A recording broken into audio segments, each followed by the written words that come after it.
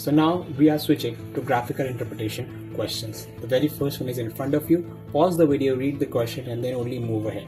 The very first question if you see I can see it very clearly over here that the number of credit card transaction in 2009 is less than the number of credit card transaction in 2006. It is 20 in 2009, it is 22 in 2006. But the question is actually talking about the value of the credit card transaction and the average value of the transaction. So what I can do is if I assume the value 2006 as X, then the value in 2009 will be 1.1X, that is 10% more. And then the average value can be calculated by simply dividing the value with the number of transactions so that is x upon 22 and 1.1x upon 20 and the question is asking about how is this average value increasing from 2016 to 2009 i can simply use this formula to find out that percentage increase. Whereas the second question is pretty simple.